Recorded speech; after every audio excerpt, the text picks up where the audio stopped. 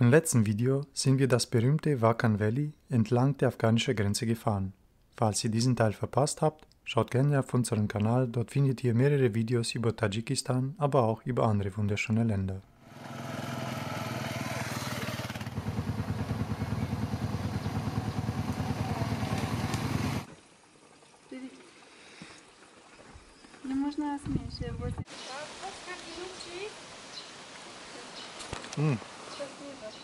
Спасибо.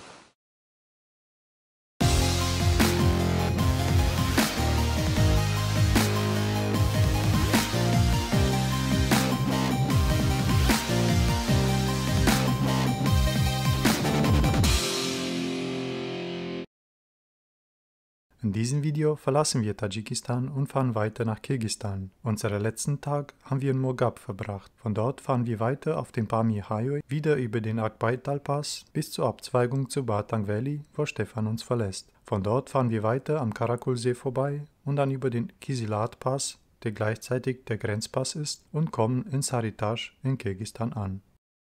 Wir sind in Murgab, unserem Aufenthaltsort von einer Woche davor.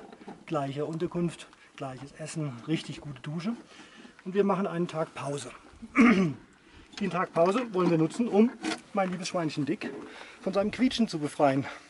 Nur heute stellen wir fest, es quietscht nicht hinten, es quietscht vorne. Und wir waren uns alle definitiv sicher, es war hinten. Und jetzt, jetzt haben wir erstmal gesagt, okay, wir werden die Doktormethode anwenden, passend zu meinem Titel und haben den Trichter rausgeholt und den Schlauch, wie man da hinten dran sieht. Und jetzt werden wir uns der Nähe des Objektes ja, annähern und gucken, wo kommt das Quietschen wirklich her. Okay. Ich bin echt gespannt, ob wir es finden. Schauen wir mal. Jetzt kommt von vorne. Gut. Das ist ein neues Quietschen. Das ist der Dämpfer von. Aber das andere, das ist jetzt weg.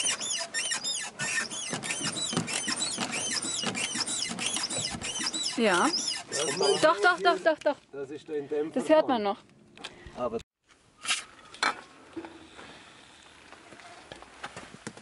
Du hast erstmal ein bisschen. Ja, aber der geht ja auch, wenn die äh, vor, runter geht, muss er vor und hinter gehen. Ne? Ja, ist nix. Jetzt an dem da unten. ne? Ah, da.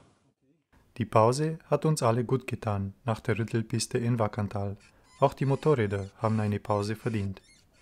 Einige Sachen mussten wir erledigen. Oliver und ich haben die Motorräder gecheckt. Zuerst die 1200er GS, die von allen Seiten quietschte. Da wir kein echtes Stethoskop für die Untersuchung hatten, haben wir uns selbst geholfen und mit ein bisschen Kreativität kamen wir doch zu einer Diagnose. Wir haben alle Schrauben gecheckt, alle Verbindungen geschmiert und letztendlich die Gummibuchsen der Federbeinlager als Ursache festgestellt. Auch an unsere Husqvarnas hatten wir was zu tun. Ein Wackelkontakt in Kabelsalat war aber schnell erledigt, die Lenkkopflager gecheckt, ein bisschen Ordnung in die Koffer war dringend nötig und natürlich die Ketten gereinigt und geschmiert. Susi kümmerte sich in der Zeit um den Einkauf, den wir brauchten, etwas Proviant und Trinkwasser. Stefan musste ebenfalls ein Moped für die Batang Valley Durchquerung vorbereiten. Im Laufe des Tages sollte ein weiterer Motorradreisender eintreffen, mit dem er dann das Batang Valley durchqueren wollte. Wir sind schuld. Wir haben ihn dazu überredet. Bis dahin sollte natürlich alles wieder fit sein.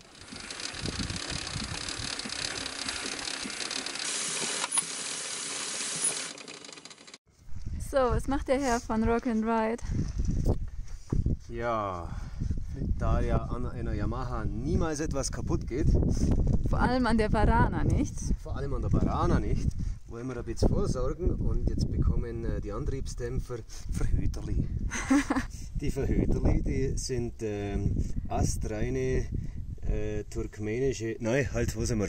Tadschikische. tadschikische Fahrradschläuche und die kommen jetzt auf unsere Antriebsdämpfer drauf und den Tipp ähm, habe vom Samuel bekommen, weil der weiß ganz genau, wie man mit allem möglichen irgendwas zusammenflicken kann und das war natürlich eine super Idee und jetzt eben, damit die Varana nicht irgendwie unterwegs im äh, Warthang irgendwelche Zicken macht, wird hier vorgesorgt. Denn Vorbeugen ist besser als auf die Schuhe zu kotzen. Ich habe mich um den Einkauf gekümmert und dabei habe ich festgestellt, dass alles wirklich so anstrengend in der Höhe ist. Als ich mit Stefan auf dem Markt war und die paar Meter wieder hochlaufen musste, war ich völlig außer Puste und musste mich ins Bett legen. Dass man in unserem Zimmer kein Fenster öffnen konnte, hat das Gefühl, keine Luft zu kriegen, verstärkt. Trotz allem war unsere Laune richtig gut, als würden wir uns schon ewig kennen. Am Abend fand dann auch noch eine Motorradtaufe statt.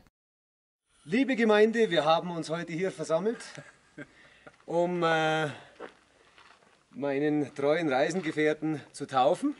Den Namen bekam sie von einer treuen weiteren Reisengefährtin, der Susi aus Augsburg.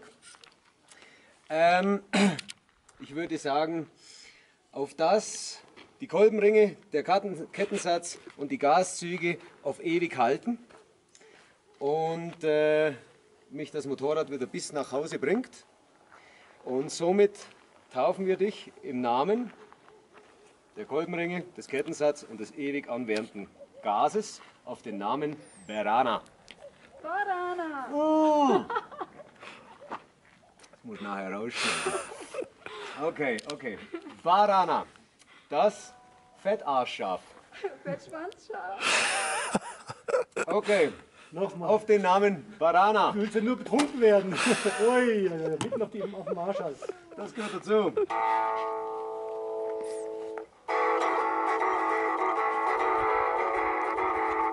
I'm going out the country, baby, don't you wanna go? I'm going out the country, baby, don't you wanna go? We're going to some place where we've never been before. We going, we going where the water tastes like wine. We going where the water tastes like wine. I'm gonna jump in the water and stay drunk all the time.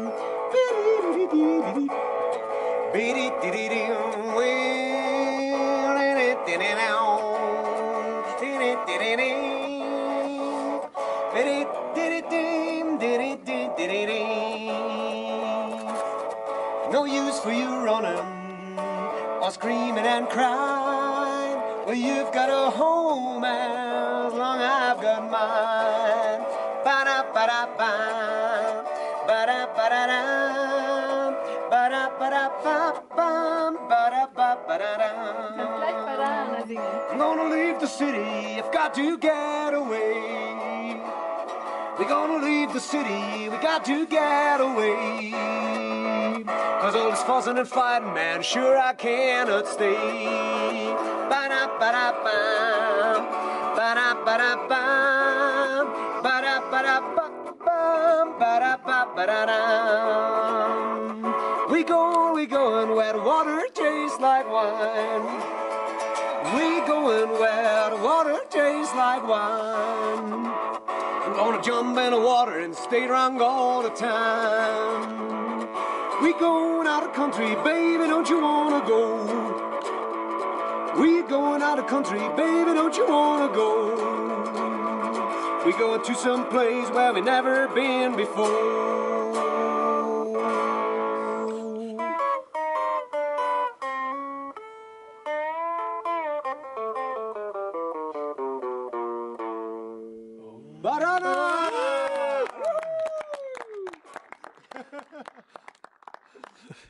Name Barana, den sich Stefan ausgesucht hat, oder besser gesagt, wir alle für ihn ausgesucht haben, bedeutet Fettschwanzschaf. Seine Yamaha bekam den Namen Barana, weil Stefan etwas viel Gepäck dabei hatte und hinten eine sehr große schwarze Packtasche und ein echtes Schafsfell hatte. So war die Namensfindung gar nicht schwer. Diese Schafrasse ist in Zentralasien sehr verbreitet und natürlich sehr geschätzt. Nach der Motorradtaufe gab es viel Musik, Bier und gute Laune. Ein weiterer Motorradfahrer, Malvin aus Deutschland, kam dazu und viele spannende Reisegeschichten wurden erzählt. Ah, Ja, es hat auch lange gedauert, bis wir das rausgefunden haben. Und damit ist nämlich dann super geil. Genau, wenn ihr hochgehst, genau, kannst du genau hochziehen. Aber die, der hat nur die beiden. Guck mal, dein Format nicht. Thank you.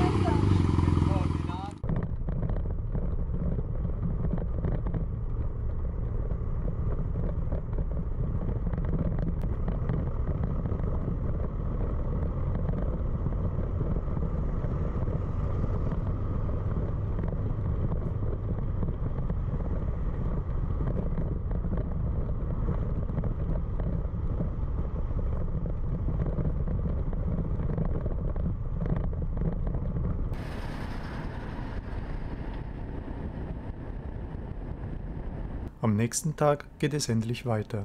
Jetzt aber zu fünft. Marvin ist auch mit dabei. Nachdem wir alles gepackt haben, fahren wir los auf dem Pami Highway in Richtung Kirgistan. Heute wollen wir schon die Grenze passieren.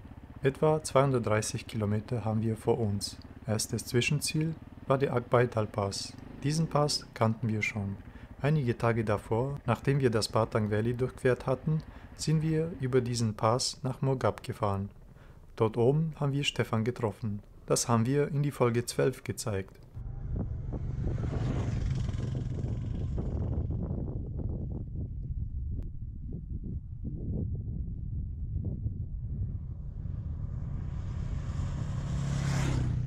Auch in die andere Richtung zu fahren ist schön. Letztes Mal war es arm, wir waren müde und hatten kaum Benzin.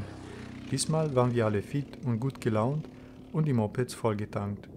Die Stimmung war ganz anders und wir haben die Landschaft anders wahrgenommen.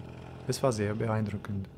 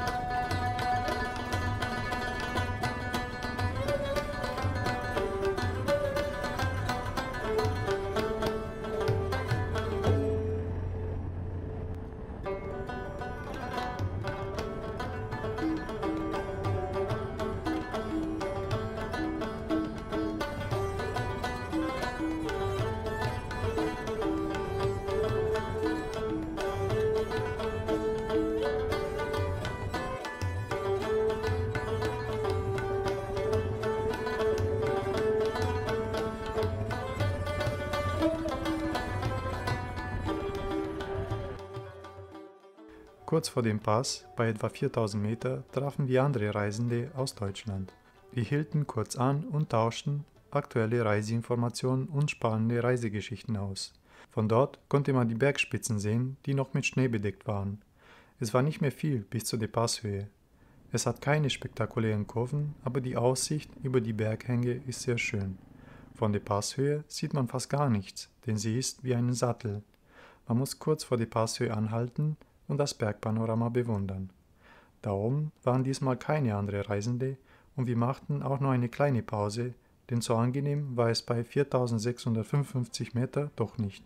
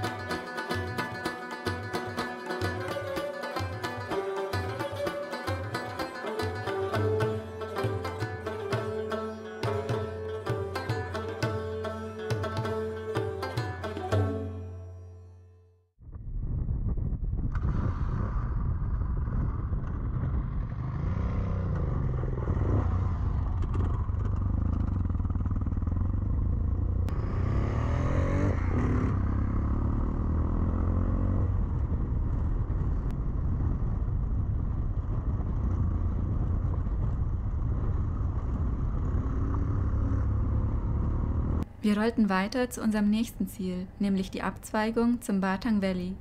Kurz danach trafen wir wieder Motorradreisende, die gerade aus Kirgistan kamen, und dann Fahrradfahrer. Auf dem Pamir Highway ist einiges los.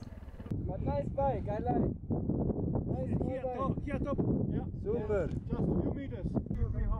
Yeah, have a nice trip. Goodbye. Have a nice day. Yeah. Goodbye. Ciao.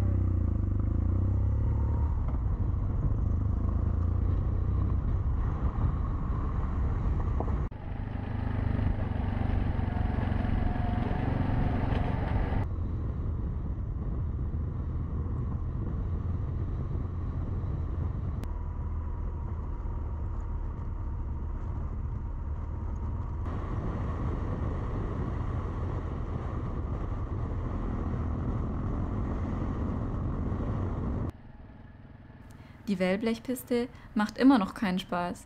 Unserem frisch gekauften Proviant hat es auch nicht gut getan. Bald erreichten wir die Abzweigung zum Batang Valley. Es gibt nicht mal ein Schild.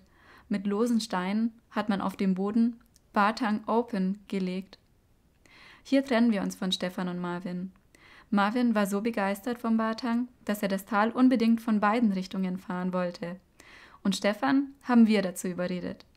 Eigentlich hat er eine Münze geworfen, die klar sagte, Batang nein. Aber er versuchte es nochmal. Insgesamt dreimal wollte ihm die Münze abraten, aber er hat dann doch auf uns gehört. Ob die Münze ihn warnen wollte? Auf jeden Fall hat die Münze nicht gelogen, denn die beiden mussten vier Tage im Tal ausharren wegen eines Hangrutsches. Ja. Mit einem lachenden und einem weinenden Auge. Wir uns ja in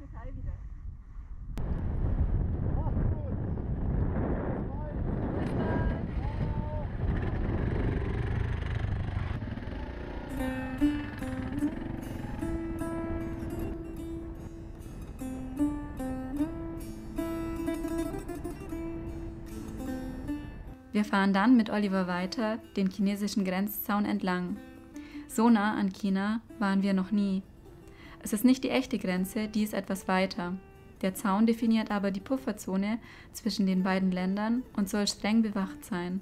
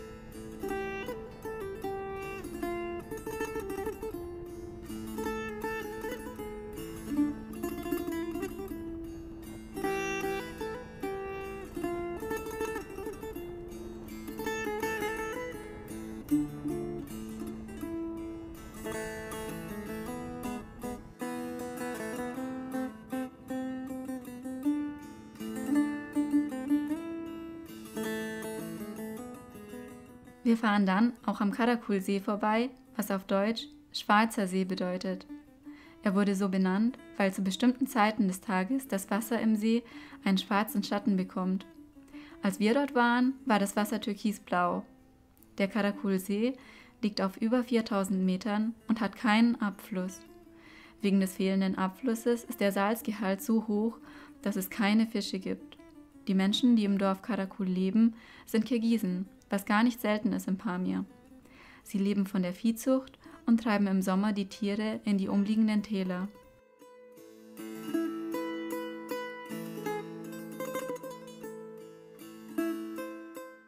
Wenn man über die Häuser hinwegschaut, sieht man den Rücken des Pik Lenin Massivs. Der Pik Lenin ist mit 7134 Metern der fünftgrößte Gipfel des Pamir.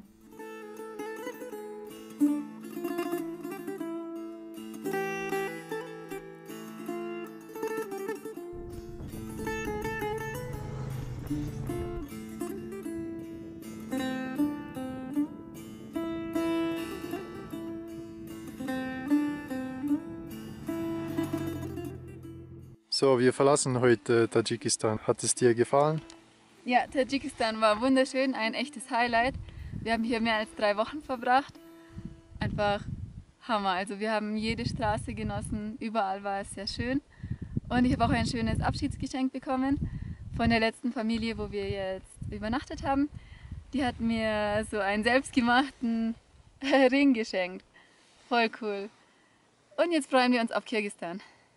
So, wir verlassen heute Tadschikistan. Hat es dir gefallen? Absolut. Tadschikistan ist immer eine Reise wert und äh, jedes Tal immer wieder anders und immer wieder schön.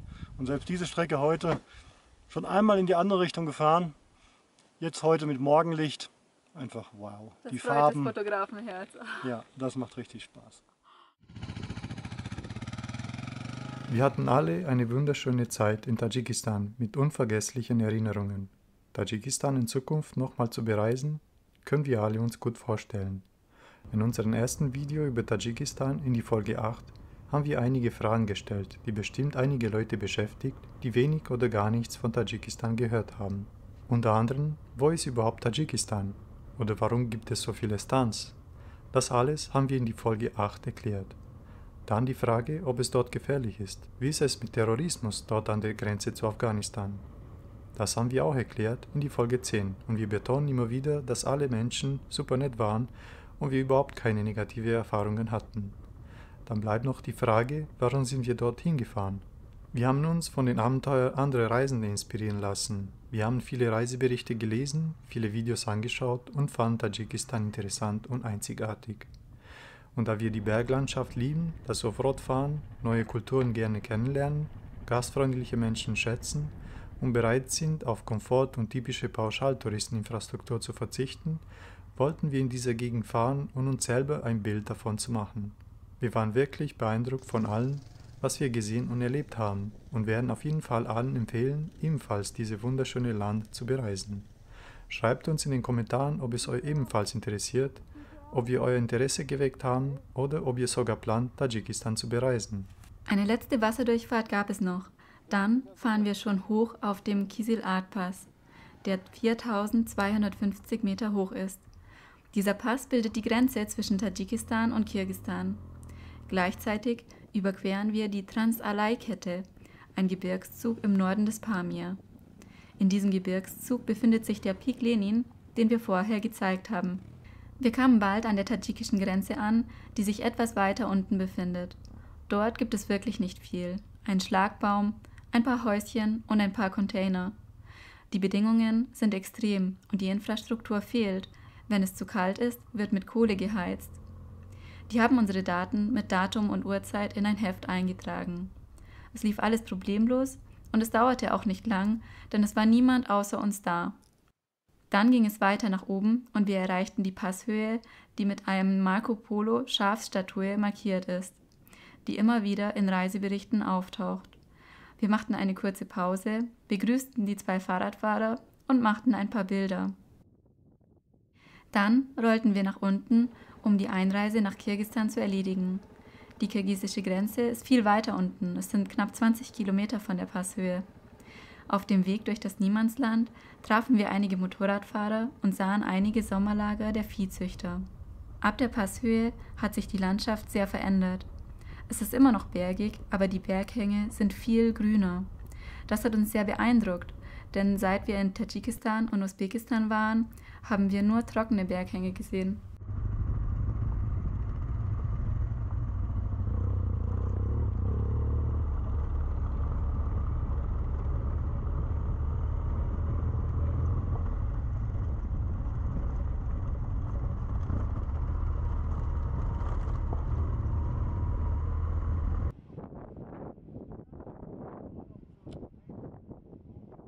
Auch die Einreise nach Kirgisistan verlief problemlos. Es war sonst keiner da. Oliver und Susi durften einfach so einreisen. Für mich war ein E-Visum nötig, aber auch das war kein Problem.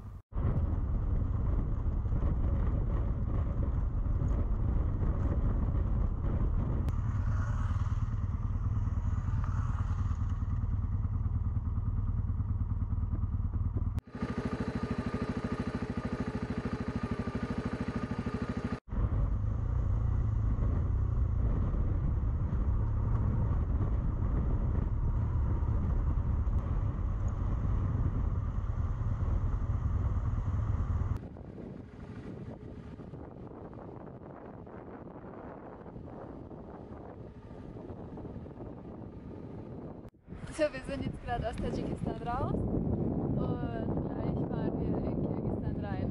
Die Straße sieht so aus. Ist okay.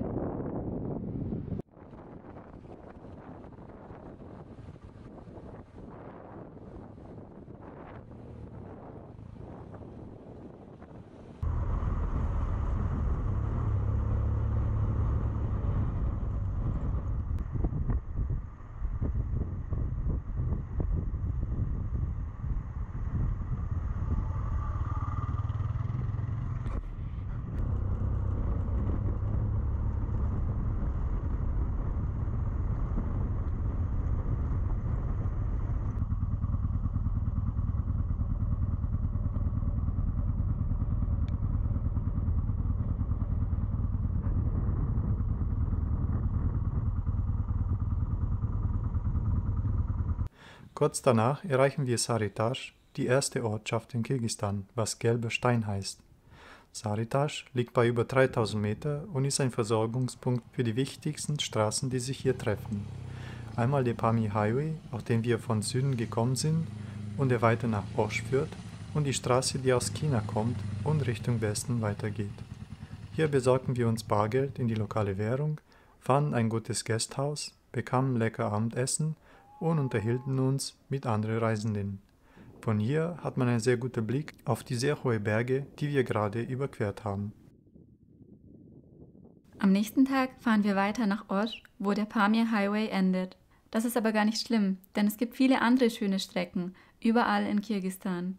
Wie immer warten wunderschöne Landschaft, geile Strecken und eine gute Portion Abenteuer in der nächsten Folge auf euch. Es bleibt auf jeden Fall spannend.